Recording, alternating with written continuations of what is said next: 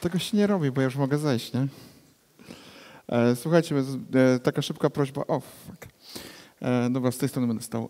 Kto z was jest pierwszy raz na JDD? Tak pierwszy raz w życiu, dziewiczo. Dobra.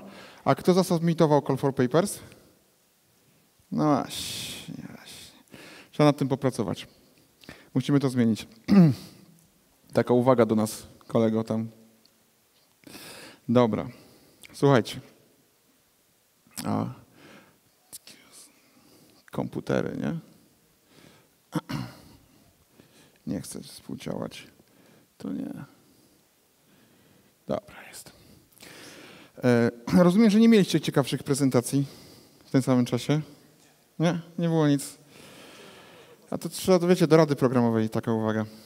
E, słuchajcie, e, dobrze, spędzimy ze sobą jakieś urocze 50 minut, a jak nas poniesie melanż, ja mam dwie piersióweczki, tutaj jestem gotowy, mogę dwie godziny dać radę. Nie ściągną mnie, dopóki nie skończę. E, dobra. Słuchajcie, e, po latach w branży mm, doszedłem do tego wniosku i ktoś mądry, bardzo mądry, bo to nie są moje słowa, e, potwierdził moje obserwacje. I te obserwacje sprowadzają się, że my jako ludzie, a szczególnie programiści, którzy niestety są, jesteśmy ludźmi, wbrew obiegowym opiniom, działamy w dwóch trybach. Tak zwanym otwartym i zamkniętym. I w trybie otwartym my jesteśmy otwarci na, na, na eksplorację, na, na, bycie ciekawym, na zobaczenie czegoś nowego. I, I, w trybie otwartym my nie mamy celu. Po prostu się bawimy, tak? Szukamy czegoś, próbujemy się wiedzieć czegoś nowego. E, to jest tak, jak dzieci się bawią. A w trybie zamkniętym to jest ten moment, kiedy mamy jakieś zadanie do zrobienia, jakiś task do napisania, e, spotkanie skramowe, kolejne wspaniałe. I w tym trybie operujemy z reguły wtedy, kiedy jest konkretny cel, mamy ten słynny fokus, nie jako programiści, że, że nie widzimy świata poza sobą, bo widzimy tylko i wyłącznie kod. E, I moim zdaniem, e, i zdaniem Johnego Cleese, nie wiem kto zna Johna Cleese. No to widać już, to wiekowo widać, kto zna Johna Cleese. To jest ten taki wysoki, z chudą twarzą z Monty Pythona. A kto zna Monty Pythona? Nie rodzice puszczali Monty Pythona jak Kubusia Puchatka i tak się skończyło, nie? E, że my za dużo czasu spędzamy w tym trybie skupionym na cel. Że za mało czasu jesteśmy w tej w takiej fazie zabawy i eksploracji. Widzę, że jesteście przerażeni. Jarek nie robi miękkiej prezentacji, to był żart. E, o co mi chodziło z tym wstępem? Chciałbym, żebyście, chciałbym, żebyście przez najbliższe 50 minut byli w tym trybie otwartym i eksploracji, ponieważ ja mam taką tradycję na JDD od chyba już 4 lat, że robię prezentacje kompletnie nieprzydatne. Taki mam cel. I idę na rekord, jak bardzo nieprzydatna ta, ta prezentacja będzie. Wydaje mi się, że dzisiaj osiągnąłem, mam nadzieję, szczyty nieprzydatności tego, tego materiału. Wy wyjdziecie, wyjdziecie i jak gdyby powiecie, ale po co mi to? Ale pamiętajcie po co? E, po, jest po coś, dla zabawy, dla fanu, żeby po chwileczkę pobyć w innym miejscu, żeby, żeby jak gdyby można było zwolnić Jasona. Nie? nie? E, więc nie piszcie, że ta prezentacja ci się w pracy nie przyda. Oczywiście, że się nie przyda. To jest mój cel. Nie wszystko jest po coś. Czasami musimy po prostu się upić. Nie? To wieczorkiem. E, I teraz jest dowód, że można przez 50 minut mówić o otwieraniu plików w Javie. Jeżeli przyszliście na to, to znaczy, że już jesteście w trybie zabawy, nie? Bo nie czekajcie się czegoś niczego zabawnego, e, ponieważ no ileż można. Dobra, jedziemy z prezentacją. Ja mam nadzieję, że ten kod dla Was jest jasny i oczywisty. E, w ten sposób większość nas, jeśli już pracujemy z plikami w Javie, co ostatnio coraz rzadziej się zdarza, bo mamy 50. warstwę, 50. warstwę abstrakcji, nazywa się machine learning czyli już nikt nie wie, na czym to działa i nikt nie wie, gdzie jest ten komputer, na czym to działa. Że otwieramy sobie plik, e, do tego pliku sobie otwieramy file input stream e, i na tym file input streamie sobie robimy wyczytywanie, no i jesteśmy zadowoleni, wyczytaliśmy. Co nie do końca jest prawdą, dlatego że klasa Java IO file, które pewnie wszyscy dobrze znają, jest tak naprawdę w tym momencie w Javie z przyczyn czysto historycznych. Po prostu oni też mają legacy. Nie? Ten codebase ma 25 lat, bo to w tamtym roku było 25-lecie, czy dwa lata temu było 25-lecie Java. E, więc tak naprawdę plik jest, no bo gdyby usunąć Java AOM file, to już by się nic, e, wszystko przestało kompilować, tak jak usunięcie lew wpada w JavaScriptie. E, I tak naprawdę ta funkcjonalność, która w tym momencie jest, została przeniesiona do, do klasy path. I tak naprawdę to, co robi obiekt file, to wszystkie wasze wywołania, na którym wy robicie, czyli stwórz mi katalog, y, usuń katalog, sprawdź, czy czy plik istnieje i tak dalej, i tak dalej, deleguje do implementacji takiego interfejsu File System Implementation. W zależności na którym systemie operacyjnym jesteście, to jest to albo Windows File System y, Implementation, albo, albo Unix, albo cokolwiek tam jeszcze innego po drodze. I co jest bardzo ważne dla tej prezentacji, file nie jest filem deskryptorem. Kto to wie, co to jest file descriptor? Dobra, tutaj chodziliśmy na zajęcia, bywaliśmy. A cała reszta gdzie? W klubie pobliskim, tak? Jak jesteście z Krakowa, to jest taki fajny e, knajpa dla studentów na Filipa. Ja też tam byłem, też nie byłem na tych zajęciach. E... Dlaczego to jest bardzo ważne? Dlatego, że tak naprawdę Java nie potrafi otworzyć pliku. Nie jest w stanie go otworzyć, bo ona jest maszyną wirtualną. Z jej punktu widzenia nic nie istnieje, nawet wasz procesor. I żeby porozmawiać z plikiem i go otworzyć, zamknąć, e, przeczytać jego zawartość i tak dalej, musi w pewnym momencie odezwać się do takiego starego człowieka, który nazywa się system operacyjny. Jest taki żul, z którym nikt nie chce gadać, ale jak trzeba coś załatwić, to wiadomo z kim porozmawiać, nie? Macie takich ludzi na osiedlu, nie? Że nie za bardzo masz ochotę, ale jakby trzeba było na przykład na lewo pięćdziesiątkę znaleźć, no nie? Na szybko, to on zawsze wie, gdzie jest. I jest ten system operacyjny. I ten system operacyjny działa tak, e, że ma tablicę, w której ma identyfikatory wszystkich otwartych plików, które się nazywają file deskryptorami. I każdy, za każdym razem tak naprawdę jak rozmawiacie z systemem operacyjnym, to nie mówicie daj mi ten plik, czy otwórz mi ten plik, tylko mówicie wykonaj mi operację na tym file deskryptorze. E, I ta tablica jest y, wspólna dla całego systemu operacyjnego. Co trzyma tak naprawdę file descriptor? File descriptor tak naprawdę trzyma dwie rzeczy ostatni odczytany byte w pliku, czyli trzyma miejsce, gdzie w tym momencie w pliku jesteście i informację, czy ten plik jest otwarty w trybie e, do zapisu, do odczytu, do append mode, tak, czyli do doklejania, do zapisywania na końcu pliku. Prawda jest taka, że w Javie ten file descriptor nie jest w pliku file. Nie ma go w obiekcie file. Gdzie on jest? A, jest w obiekcie klasy file descriptor. I w tym obiekcie jest takie magiczne pole typu int, nazywa się fd i tam trzyma, trzymany jest identyfikator tego otwartego właśnie pliku. Po co? Dlaczego? Dlaczego nie można było przecież file to file? No nic fajnie było, żeby file trzymał file descriptor. Nie wiem, czy wiecie, ale jest w Garbage Collector. I on z jednej strony jest błogosławieństwem i, i, i, jest cudowny, bo tworzy iluzję, że pamięć jest nieskończona, macie nieskończoną ilość pamięci, ale z drugiej strony dla autorów Java tworzy i generuje bardzo dużą ilość problemów. Bo wyobraźcie sobie, że możecie ten sam plik otworzyć, otworzyć wiele razy. Zgadza się? Da się w Java otworzyć ten sam plik wiele razy? Dobra. To teraz co, robi, co się dzieje, jeżeli wy nie zawołacie na obiekcie file explicite close, tego po prostu pozwolicie, żeby go pospączał garbage collector. Prawda jest taka, że Java w związku z tym, że jest tak zwany managed runtime, zamknie ten plik za was. Tak? I to jest historia pięknych wycieków na Hadoopie, gdzie w Hadoopie w kodzie nie było zamykania plików bezpośrednio i Hadoop nie wyrabiał, garbage collector nie wyrabiał, nie wyrabiał zamykaniem plików, że ten plik zostanie zamknięty przez, podczas finalizacji obiektu, przed, zaraz przed garbage collectorem. No i co się może wydarzyć złego? Nagle otworzyliście pięć razy ten sam plik, macie ten sam file descriptor i jeden z tych obiektów jest sprzątany przez garbage collectora. I wszystkie te pliki zostaną zamknięte w momencie, kiedy przyjdzie garbage collector. Niespodzianka. Nie chcielibyście tego. Więc e, w file descriptorze zaimplementowany jest mechanizm, który sprawdza, ile razy ten plik został otwarty. Jest to w zasadzie reference counting, który zlicza ilość otwarć plików i dopiero w, i za każdym razem, jak plik jest zamykany, ta ilość jest zmniejszana. I dopiero kiedy ilość otwarć plików jest zero, to dopiero wtedy ten plik fizycznie jest zamykany. Stąd ten cały dziwny, skomplikowany mechanizm pod spodem. Dobrze. To co się dzieje, kiedy wy otwieracie plik? Macie coś takiego jeszcze, że, że coś robicie i zastanawiacie się, jak to pod spodem działa? Macie taki podstawowy inżynierski odruch, nie? Co tam się dzieje, nie? Czy tam skrzaty wyskakują i mówią, kurczę, otworzymy plik, otworzymy plik. Nie. To się dzieje. To jest kawałek z Java 8 i to jest stack trace tego, co się dzieje w momencie, kiedy otwieracie plik. Więc na początku jest wołana na przykład, to może być odczyt i zapis. Ta droga będzie mniej więcej ta sama. E, na początku otwierany jest plik, e, znaczy zapisujemy do pliku przy pomocy metody write. Ta metoda write natychmiast deleguje ten zapis do kodu napisanego w C. Java nie pisze po pliku, to C pisze po pliku. To Java prosi C, żeby napisał do pliku. I cała zabawa polega na tym, że tutaj jest piękna sytuacja, że wołany jest write bytes i to już jest kod natywny, który deleguje nas do jakiegoś file input Java Java. To jest bardzo ważne. To by się nie skompilowało, niby nie, za, nie zadziałało, gdyby ta metoda nie nazywała się Java Java. Taka jest konwencja. E, wołana jest e, write bytes, który jest przekazywany do biblioteki natywnej, gdzie jest kolejna funkcja, nazywa, która się nazywa write bytes i na samym końcu jest odwołanie się do systemu operacyjnego i powiedzenie zapisz mi ten plik. I to wszystko odbywa się w C pod spodem. Nie? Czy to jest tak proste?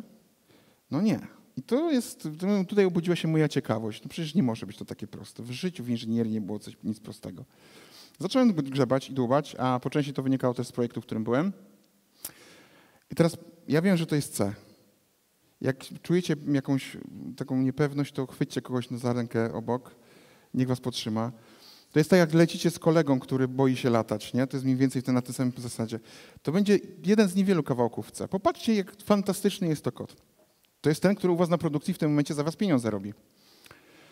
Na początku, na starcie macie zdefiniowany jakiś buff size, który jest rozmiaru, podejrzewam, 8 kilobajtów, nie? bo ta magiczna liczba wygląda jakby była 8 kilobajtów. Okay? Skąd to się wzięło? Nie wiem. Pewnie ktoś siadł w sanie. 8 kilo będzie ok. Starczy. Tak jak 60, 640 kilobajtów, nie? I popatrzcie, co się tutaj dzieje. Jest alokowany bufor na stosie, ale jest jeszcze wskaźnik do buforu, który jest na razie nulowy. Mamy bufor na stosie i na stercie prawdopodobnie będziemy mieć za chwilę coś zalokowanego. Idziecie dalej, a tutaj zaskakuje was magia wysokiej jakości kodu, że jeżeli rozmiar tego, tej tablicy, którą chcecie zapisać jest większa niż 8 kilobajtów, to zalokuj pamięć. A jeżeli ta rozmiar tego czegoś, co zapisujecie na dysk jest mniejszy niż 8 kilobajtów, to wykorzystaj bufor, który jest zalokowany na stosie, bo to jest tańsze. Co, jakie są konsekwencje tego dla Was? Za każdym razem, kiedy zapisujecie coś, co ma więcej niż 8 kilobajtów, macie dodatkową alokację pamięci. Ekstra. I to jest źródło mojego ukochanego, jestem fanboyem tego e, pytania. Ja na nie nigdy nie odpowiedziałem, ale na Stack Overflow jest takie pytanie, które ja sobie kiedyś wydrukuję i wytapetuję. Dlaczego, jak dałem 4 GB maszynie wirtualnej i Dockerowi 4 GB, to jemu to nie wystarcza i mi Kubernetes killuje? To jest dokładnie to. Bo ta pamięć, ten malok, nie jest alokowany tam, gdzie, trafia, gdzie definiuje rozmiar wasz XMX. To jest lokowany poza tym, co jest definiowane przez XMX-a. Więc jeżeli macie dużo operacji I.O. i one piszą powyżej 8 KB, to w tym momencie każdy, każdy wywołanie powoduje alokację. Pamiętajcie, alokacja jest kosztowna. A jeżeli jest poniżej 8, to lecimy na buforze lokalnym. Dobrze. Co się dzieje potem? No trzeba tą pamięć zwolnić. Więc co panowie robią?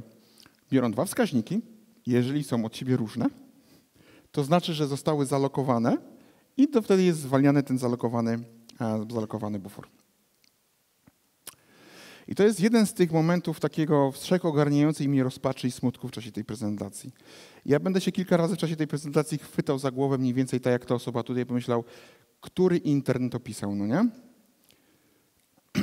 Ja też byłem internem, więc nie odczuwajcie tego jako personalny wyjazd do was, no nie? Ale pamiętajcie o tym, że jeżeli piszecie więcej niż 8 kilobajtów, powodujecie wywołanie systemowe, znaczy nie systemowe, biblioteczne do glipce, żeby po prostu on zalokował wam pamięć. To nie zawsze musi się kończyć wywołaniem systemowym. Czy to jest koniec tej rozpaczy, która się tam pod spodem odbywa? No nie, ponieważ w pewnym momencie dochodzisz do takiego kodu, gdzie jest magiczna metoda get byte array region. No i siedzisz, siedzisz mówisz, kliknę, zobaczę, co ciekawego się tam dzieje. Co się tam ciekawego dzieje? Wołana jest taka metoda memcopy, memcpy. Czyli co się dzieje? Chcecie zapisać 8 kilobajtów, załóżmy, że 9, nie? to w tym momencie jest zalokowane 9 kilobajtów na potrzeby tego, następnie to jest skopiowane do tej tablicy i dopiero potem jest zapisane. Dlaczego my nie zapisujemy tej tablicy bajtów, którą dostaliśmy oryginalnie, tylko robimy najpierw kopiowanie, a potem dopiero to zapisujemy? Ja już wam powiedziałem, dlaczego się tak dzieje. Garbage collector.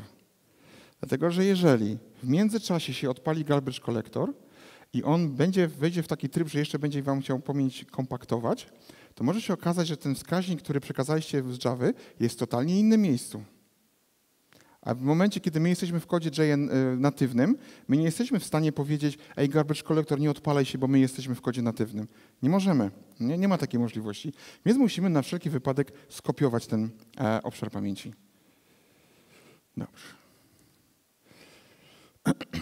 Czy jest nadzieja? Bo moim zdaniem to jest ohydny kod. Nie? Po prostu przykład tego, jak nie pisać. Jak można było, znaczy oni mieli, to, to wygląda typowy te, taki kod z deadline'em, nie? Na, krótki, na krótkim deadline'ie jechali. Nie? Mówię, a dobra, to jakby to zalokujemy, potem się naprawi 25 lat później. Jest coś takiego jak Java NIO. Czy ktoś z Was używa świadomie, czy nie? Czy zawsze robicie new file? OK? Wódeczkę ci wiszę. E, I to powstało w okolicach Java 5, zostało, pojawiło się. E, I to jest nie tylko tak, że tam dodali jakieś nowe funkcje do otwierania, zamykania tych plików i tak dalej. Zmieniło, zdarzyła się fundamentalna rzecz, bardzo ważna rzecz. Zmieniła się cała implementacja zapisu e, i rozmawiania z systemem operacyjnym. I mamy tą samą sytuację, czyli zamiast na filu no, robimy na file channel, na file channel write. I zobaczmy, co się dzieje. Pierwsza, druga, trzecia, czwarta linijka to jest kod javowy. Zobaczcie, jaka jest różnica. Tu jest cały czas jesteśmy w Javie i tylko na ostatnią chwilę, gdzie my już chcemy fizycznie ten plik zapisać, wychodzimy do C, do kodu natywnego. To jest kompletnie inna sytuacja niż w poprzedniej oryginalnej wersji. Co nam to daje? Rozwiązuje bardzo prosty e, problem. E, bardzo prosty sposób. Słuchajcie, jeśli coś w informatyce jest trudne, to rozwiązuje się to przy pomocy albo kolejki, albo cache'a. Tutaj zastosowali cache. Co zrobili? Keszują te, te, te, te, tablice, które są alokowane, oni je, oni je nie zwalniają, tylko trzymają w keszu. I za drugim razem, jak pójdziesz i powiesz, chcę zapisać 9 kilobajtów, to on powie, a, to ja mam już taką tablicę wcześniej zalokowaną 9 kilobajtów, to ją użyję. E, I ten cache jest per wątek, czyli każdy wątek ma taką tablicę buforów specjalnie na operację I.O. Rozmiary tych e, tablic są, zależą od tego, jak wy piszecie. One nie są z góry narzucone. Po prostu tak jak wy alokujecie, jakie są paterny e, alokacji, to takie będziecie mieli kolekcję buforów. I one są tam, leżą przypięte do każdego wątku. W tym momencie pozbyliśmy się tego maloka, nie? automatycznie na powitaniu. I te tablice są zwalniane w miarę potrzeb, żeby wam pamięć nie wyciekała. To raz na jakiś czas te kesze są zwalniane. To jest takie proste. Tam widać dobrze ten rysunek, jesteście w stanie odczytać? To chodźcie bliżej. Słuchajcie, e, Linux. Większość waszych produkcji jest na Linuxie. A jeżeli ktoś wam każe e, instalować produkcję na Windowsach, to jest dużo fajnych ofert pracy w Krakowie. Dziękuję. Czyli wydam. E, to jest wyciąg z, z czego? A to jest Linux 4.10. Tak wygląda podsystem rozmawiania z operacjami I.O. w Linuxie. Czyli tu na górze, ten szary bloczek na samej górze, to jest wasza aplikacja, która wysyła sygnały do systemu operacyjnego i ten sygnał, zanim trafi, bo tu gdzieś na dole jest dysk, jego nawet nie widać, ale tu są fizyczne urządzenia, to zanim dojdzie, to przebija, przechodzi taką drogę. Każda wasze żądanie operacji wejścia-wyjścia. Teraz jest wersja dla normalnych ludzi. To jest wersja uproszczona. Popatrzcie, ile, ile wysiłku z mojej strony, żeby z czegoś takiego narysować coś takiego. E, I w prostej wersji to wygląda tak, że mamy e, VFS, Virtual File System, to jest jakby moduł e, w Linuxie, który rozmawia sobie z page cache'em i następnie wysyła wszystkie requesty e, do kolejki. Ta kolejka jest kontrolowana przez e, IO schedulera i dopiero to idzie do sterownika i do waszego dysku. Co to jest page cache? Jak Linux powstawał, to dyski były strasznie wolne. Tam nawet nie było mowy o 7000 obrotów. To były 5000 obrotów i to było wtedy na bogato, no nie? Więc bardzo ważne było, żeby tak skonstruować system operacyjny, żeby jak najrzadziej odwoływał się do dysku. Pamiętacie, czym się rozwiązuje wszystkie problemy w informatyce? Albo kolejką, albo cache'em. I to wygląda teraz tak, że każda operacja I.O. w waszym systemie operacyjnym najpierw idzie do page cache'a, ten page cache zawiera 4-kilobajtowe bloki domyślnie i mówi page cache, słuchaj, bo kolej chce przeczytać tam ten kawałek pliku, masz to? No, page cache mówi nie, nie, nie mam, nie wiem nic na ten temat. Dobra, to ja to wczytam. Wczytam ten 4, 4 kilobajtowy blok i po wczytaniu zasadzę go do page cache'a. Ten page, ten page jest globalny per cały system operacyjny, czyli jak nawet jak inny proces powie, hej, weź mi, zwróć ten kawałek pliku, to już to pójdzie z page cache'a, a nie z dysku. Cała zabawa na tym polega. To samo z, z operacjami zapisu, co jest ciekawe. Wasze zapisy nie idą bezpośrednio na dysk, idą do page cache'a. Tylko, że taka strona w page cache'u zostaje zaznaczona jako dirty, czyli brudna. I system operacyjny raz na jakiś czas chodzi po tej tablicy, po tych page cache'ach. Tam są domyślne do ustawienia tak zwanego dirty ratio, czyli jak dużo stron może być brudnych, jaki procent stron może być brudnych. I te strony brudne raz na jakiś czas okresowo są zrzucane, fluszowane na dysk. Zanim są sfluszowane albo odczytane, albo zapisane, muszą trafić do kolejki. Pamiętajcie, rozwiązujemy podstawowe problemy cache i kolejka. Po co na kolejkę? No przecież mamy dyski, nie? Po, po honorem jeszcze jedna kolejka tam po drodze. I to wszystko, odczyty i zapisy są kolejkowane. No bo dawno, dawno temu e, dyski miały ramiona. I ramiona nie miały umiejętności bilokacji. Mogły być tylko nad jedną częścią dysku w danym momencie. Więc trzeba wszystkie te żądania operacji I.O. trzeba ustawić w kolejce, żeby potem te ramię tego dysku mogło się pobierać na następne zadania. To się nazywa I.O. task w nomenklaturze e, Linuxa i ten I.O. task jest pobierany z kolejki i te, to ramię sobie wędruje. Jest jeszcze tutaj jedna ciekawa rzecz, scheduler. Wiemy wszyscy, że w systemach operacyjnych są schedulery do zadań, które tam przepisują wasze zadania do procesora i one są wykonywane i ściągają te zadania z procesora.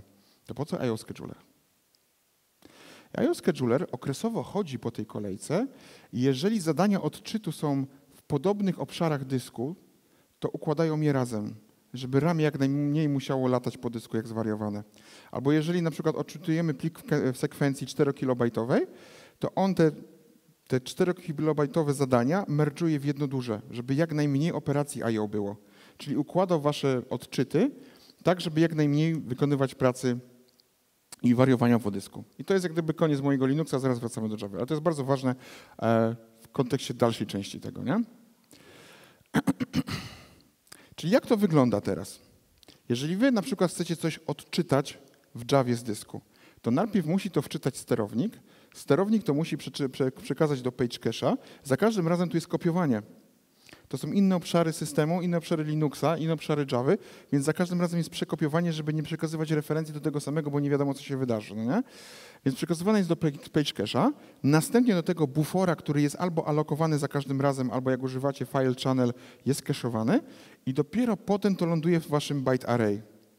Długa droga, no nie? Pomiędzy wami a dyskiem. Dobra.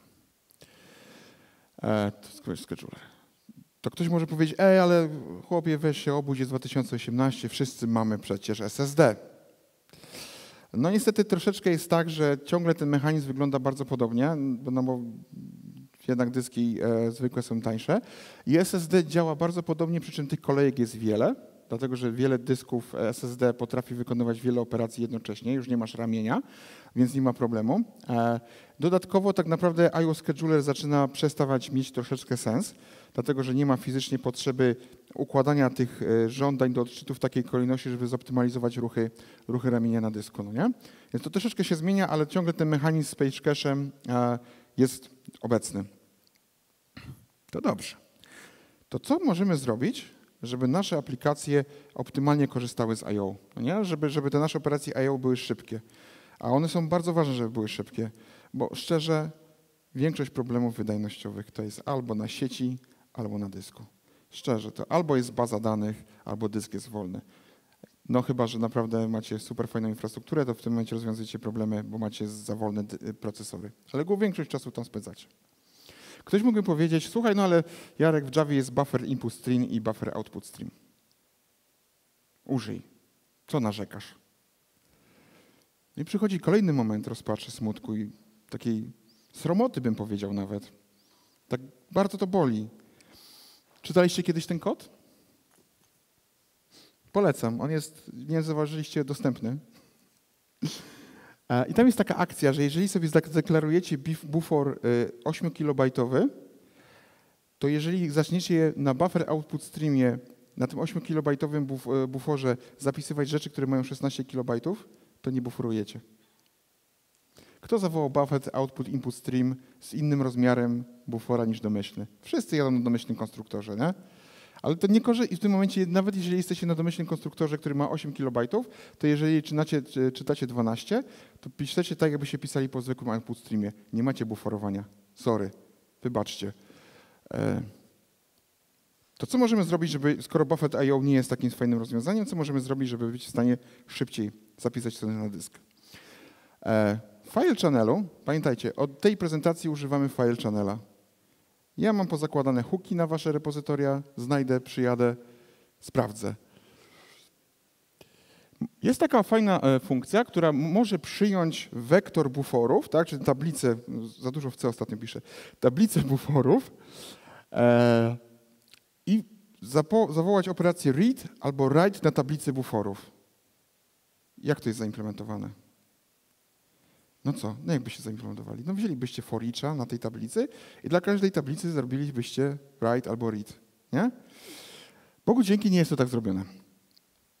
Ponieważ e, Linux posiada coś, co się nazywa vector IO. E, posiada takie dwie funkcje, readv i writev, które umożliwiają ci w jednym strzale, w jednym jakby wywołaniu do systemu operacyjnego, który pamiętajcie, syskole są kosztowne, chcecie mieć ich jak najmniej, w jednym strzale zapisać kilka buforów naraz albo odczytać kilka buforów naraz. No nie? Co jest ciekawe, te operacje są atomowe. To oznacza, że jak na przykład zapisujecie 50 buforów, to nie będzie tak, że pomiędzy zapisami poszczególnych buforów pojawią się jakieś inne zapisy. To będzie w jednym, nie używajmy słowa transakcji, ale w jednej op atomowej operacji. To samo przy odczytach. Mega szybkie, mega fajny mechanizm. I jest dostępny w Javie. Pamiętajcie, to jest kod Javowy od 1.5. Ale przychodzi moment smutku, rozpaczy. To jest ten moment, kiedy szukasz w domu flachę i mówisz, walnę sobie, nie? Bo jest to fatalnie. Grzebiesz, grzebiesz, szukasz problemu, próbujesz sobie rozwiązać, wysyłasz żonę do, z dziećmi do, do matki, bo już po prostu nosi cię i trafiasz na takie dzieło współczesnej inżynierii oprogramowania. To jest kod o OpenJDK, zaznaczam. Wywołamy sobie, wołamy sobie funkcję systemową syską, która mi zwraca jakiś tam, pytam się o jakiś parametr konfiguracyjny systemu operacyjnego. Jeżeli mi się nie uda, konwencja w większości przypadków w C jest taka, że jak zwracamy minus 1, to znaczy, że mi się nie udało, to ustaw na 16. Dobrze, to co to jest ten Eye of Cone Max? Okazuje się, że Linux ma domyślnie skonfigurowaną maksymalną ilość tych buforów. Te bufory mogą mieć dowolny rozmiar, ale ilość tych buforów maksymalnie może być w przypadku Java 16. Sięgamy do y, manuala, a manual mówi, że mm, kiedyś było 16 w starych dobrych czasach i w, czasach Linuxa 2.0 to było 16, ale ogólnie sugerują teraz, żeby używać 1024. A Java mówi 16. Co jest fantastyczne w tym zachowaniu tego, że jeżeli przekażecie 18 buforów zamiast 16, to co się zdarzy? Ktoś by się spodziewał jakiegoś ekscepszyna, nie? Nie ma. Po cichutku zapisuje 16, tych pozostałych 8, tych dwóch z 8 nie zapisuje i przechodzi do wykonywania kodu dalej. No nie? Bez słowa informacji, że tak naprawdę przekroczyłeś dozwolony limit buforów. Dobrze.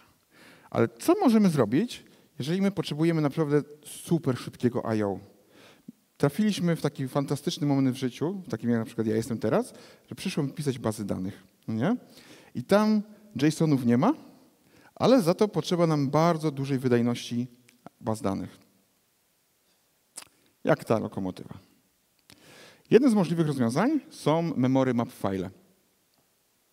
I one też są dostępne w Javie. Mechanizm wygląda tak, że bierzemy sobie plik, mówimy systemowi operacyjnemu, weź mi zmapuj zawartość tego pliku do pamięci. Ja nie chcę czytać po dysku, chcę mieć operację po pamięci, bo jest szybciej. Więc my tak naprawdę mapujemy plik do pamięci. Co jest ciekawe, możemy zmapować plik, który ma więcej bajtów niż nasza pamięć. Możemy na 16-gigabajtowej maszynie zmapować 2-terabajtowy plik. Zastanawiacie się jak? Można.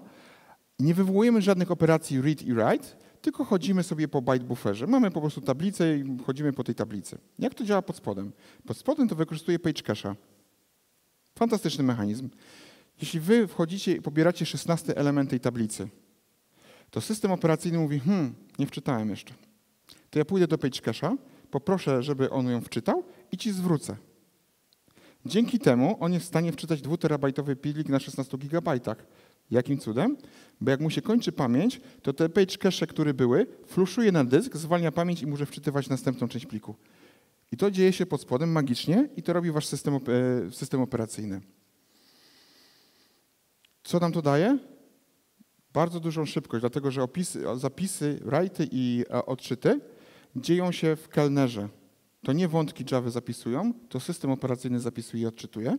Co jest ciekawe, możecie sobie taki plik otworzyć i mogą do niego pisać jednocześnie dwa procesy. I dwie Java mogą sobie ze sobą rozmawiać, pisząc po pliku. I jest to możliwe bez żadnych kombinacji i akcji w Javie. Bardzo proste, nie? File channel, tworzymy zwykły plik, otwieramy sobie, następnie wołamy funkcję map, e, mówimy sobie, słuchaj, zmapuj mi od początku pliku do końca pliku na przykład, dostajemy e, byte buffer i na tym byte bufferze już pracujemy. Nigdy nie wołamy read, nigdy nie wołamy write. To wszystko jest po stronie systemu operacyjnego.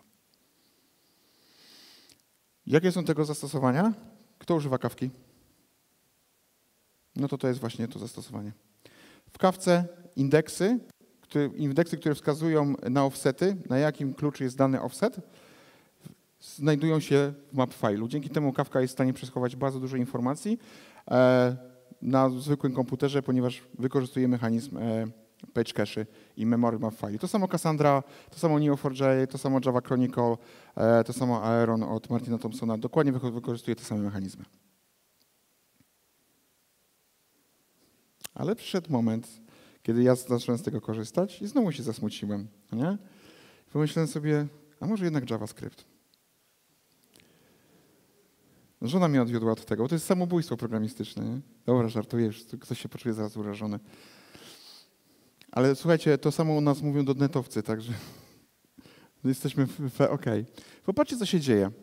Sięgamy sobie do dokumentacji tej metody map i widzimy, skupcie się, to jest bardzo ważne, że mamy tutaj long i long. Pozycje, na której chcemy zmapować, bo możemy zmapować dowolny fragment pliku i rozmiar tego zmapowanego y, obszaru. Niby OK, mamy dwa longi, czyli możemy z, zalokować ile? Dwa do której? 64, tak? Jakoś tak. Hmm. Mniej więcej. Pamiętajcie, czujni programiści nikomu nie ufają, szczególnie API, i sięgają z radością do dokumentacji. A tam stoi takie zdanie, że ten rozmiar zmapowanego rozmiaru musi być nieujemną liczbą nie większą niż integer max.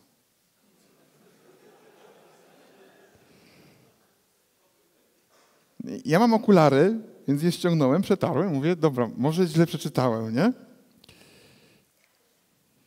Wiecie, dlaczego tak jest? Jaki jest indeks w Javie na tablicach? No int. Maksymalny rozmiar tablicy w Javie to jest rozmiar inta. Więc oni nie są w stanie zrobić niczego innego, niż zamapować 2 GB pamięci. Mimo tego, że przed chwilą powiedziałem, że możecie sobie 2 tera zamapować. Java powie nie. Dziękuję. E, I to jest coś, co długo, długo prawdopodobnie się nie zmieni, być może się nigdy nie zmieni, albo będziemy potrzebowali kolejnej rewolucji na, na miarę, nie wiem, kurczę, lamp, żeby coś takiego się... Są pomysły, jest rozmowa o Array 2.0, kolejnej wersji tablic w Javie, może to poprawią kiedyś. Jak możemy to obejść? Słuchajcie, jesteśmy w Polsce, jesteśmy kreatywni, obchodzi się to w bardzo prosty sposób. Zauważcie, co tam jest. Tutaj. Pozycja. To co ja mogę zrobić? To ja mogę sobie zrobić wiele mapowanych byte bufferów na kolejnych częściach pliku. No nie? Nikt mi nie zabroni. Bo mogę, ograniczenie jest tylko na rozmiar tego bufora, a tych ilość plików mogę, tych buforów mogę mieć dowolną ilość. I tak się z reguły obchodzi to e, ten problem. Dobrze. To czy jeszcze możemy być szybsi? I to wszystko pamiętajcie, to jest standardowa Java, to jest Java NIO, tutaj nie ma żadnych haków, dodatkowych bibliotek. Pamiętacie ten obrazek? A wyobraźcie sobie teraz taką sytuację, że macie do zadanie skopiowanie pliku. Czyli dostajecie plik, na jakiejś rozmowie o pracy ktoś wam każe pokazać, jak się skopiuje plik. Czyli czytamy z jednego pliku po 15, 512 bajtów, czytamy 1024 i zapisujemy do drugiego pliku następne rzeczy. Tak to wygląda, no nie? Wyczytuję, to czerwone to znaczy, że to jest kernel, tak? a niebieskie to, że aplikacja. Czytam, page cache, JNA buffer, Java Heap Buffer, Java Heap Buffer, JNA Buffer, Page Cache Driver, żeby skopiować. Dokładnie ta sama identyczna sytuacja dzieje się przy czytaniu z socketów, co jest już dla was bardziej interesujące, nie? Tomkaty, HTTP, JSONy, RESTy, no nie? Dokładnie ten sama sekwencja. Pytanie brzmi, czy można szybciej? Czy można się pozbyć tego? Bo może tak by było lepiej. Jest takie wywołanie w Linuxie, które się nazywa sendFile. I ono mówi, słuchaj, tu jest plik, tu jest plik, skopiuj, ja się nie interesuję. Nie? nie musicie pisać pętli. To się automatycznie odbywa. Znowu Kafka. Dlaczego Apache Kafka jest tak szybka? Ponieważ ma memory map file do indeksowania i ponieważ używa tak zwanego zero, zero copy buffer i metody sendFile.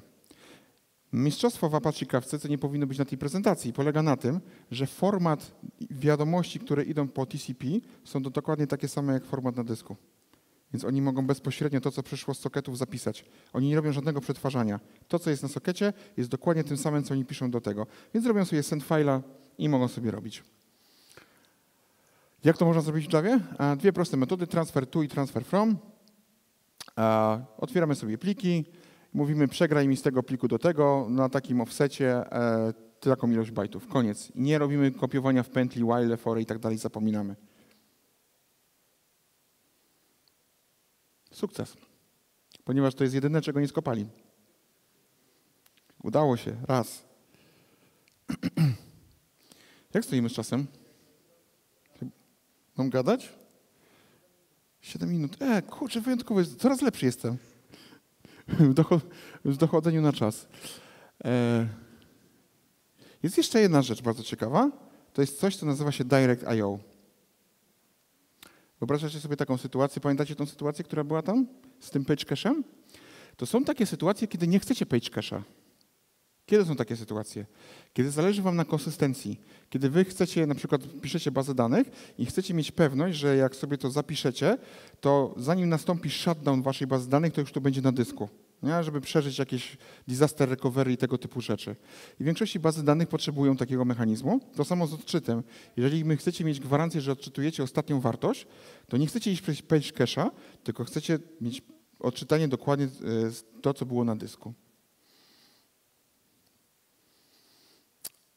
Hmm. Czy to jest w Javie? I to jest takie pytanie z gatunku, to zależy. No? Ponieważ Ostatni chwila smutku, w tym, potem rozejdziemy się do domów. No jest. Nie?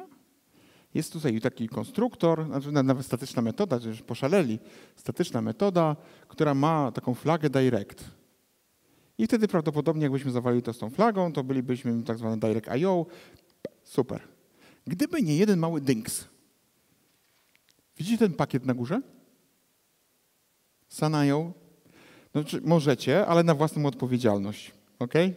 Nie ma oficjalnie, oficjalnego API do wykorzystania Direct.io. Jest hack, jak ktoś lubi zaimportować coś z pakietu Sun z nostalgią, no to, to, to polecamy, no nie? I można spokojnie. Dobra.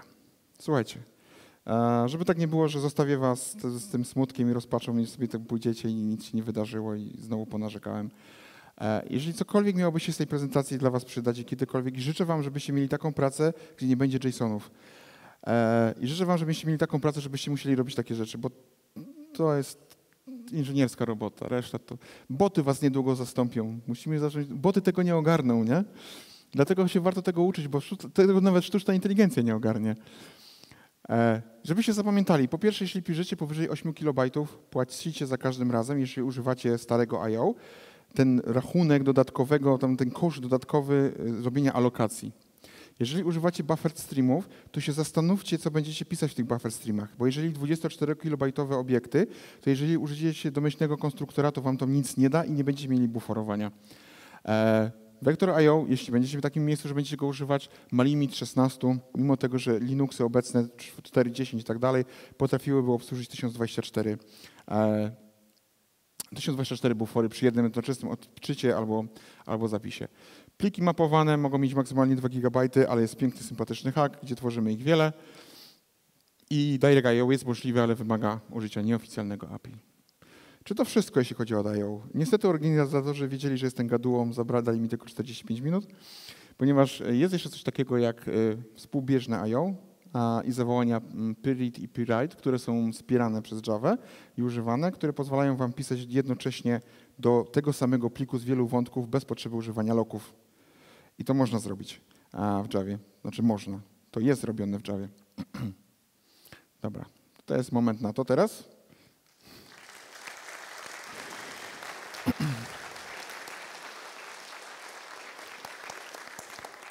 Pytania, jeśli są jakiekolwiek.